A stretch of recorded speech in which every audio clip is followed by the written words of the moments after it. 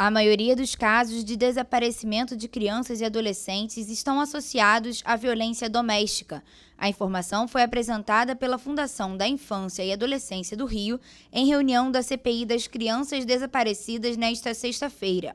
Os dados levantados pela Fundação apontam que 76% dos desaparecidos que foram localizados fugiram de casa por estarem sendo vítimas ou presenciando algum tipo de violência intrafamiliar.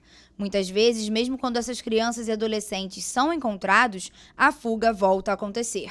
Que a gente possa oferecer dessa casa políticas públicas que possa reforçar é, um trabalho preventivo para que essas crianças aí tem que passar com certeza com as secretarias é, municipais de educação, porque essa criança, esse adolescente já dá o primeiro sinal é, quando ele não está frequentando dentro da sala de aula. Então, essa violência, na realidade, já é sinalizada e aponta uma necessidade para que a gente possa reiterar muito, muito, muito, muito trabalho de, de caráter preventivo.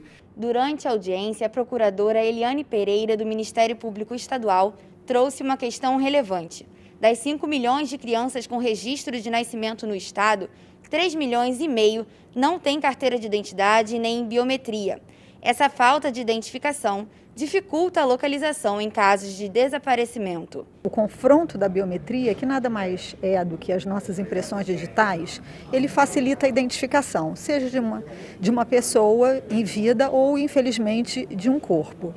Então essa é a utilidade, é assim, eu diria que é um instrumento de prevenção do desaparecimento fundamental. Uma boa porta para investir na biometrização, ou seja, na carteira de identidade das crianças é a escola, é a rede pública de ensino, a rede pública e a rede particular, naturalmente.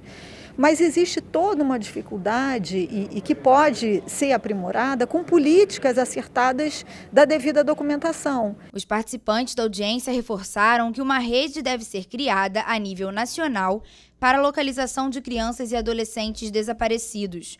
Essa integração, segundo eles, é necessária tanto na divulgação quanto no cruzamento de dados e no controle da saída desses menores de um estado para o outro, inclusive nos casos de desaparecimento forçado. O presidente da CPI, deputado Alexandre Knoploch, afirmou que não existe fronteira para o desaparecimento de pessoas e que vai enviar um ofício ao Ministério da Justiça e ao Ministério dos Direitos Humanos para que essa ponte possa ser construída. Fico muito feliz de saber que o Rio de Janeiro tem sido pioneiro em diversas ações na questão de desaparecimento de pessoas e principalmente de crianças, né?